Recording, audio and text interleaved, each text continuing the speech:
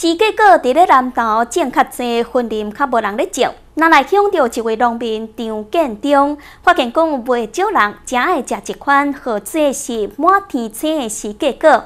所以，就将家己的果园来分一区出来种去卖。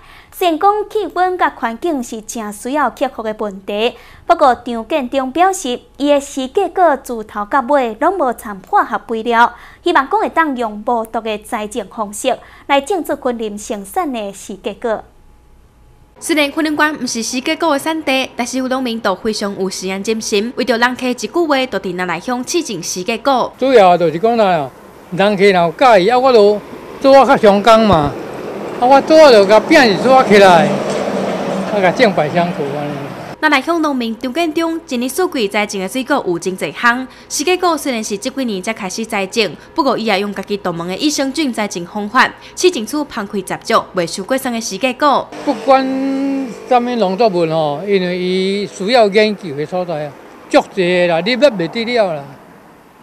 农种。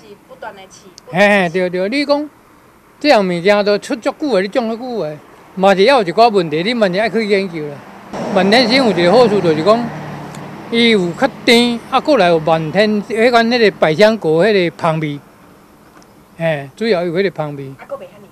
嘿，啊，佫袂袂安那酸，佫小可有酸啦。从公园分一区出来正式结果，杜建中讲，未来若是愈种愈稳定，也会随时调配栽种的面积甲数量。伊讲上重要的就是人客食得安心，食得介意，才是上要紧。种凊彩项的水果拢共款，第一就是讲爱甲咱买人，伊就是要食身体健康的，咱就是袂使用一寡较较无好的物件。落用啊，为着要趁钱，用迄款的物件啦。咱像讲，有个吼，用化学来讲哦，吹油大粒，吹油甜，对无？哦，迄款我无爱用啦。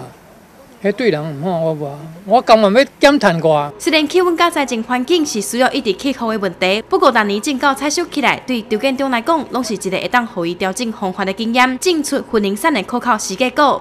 记者单位从报道。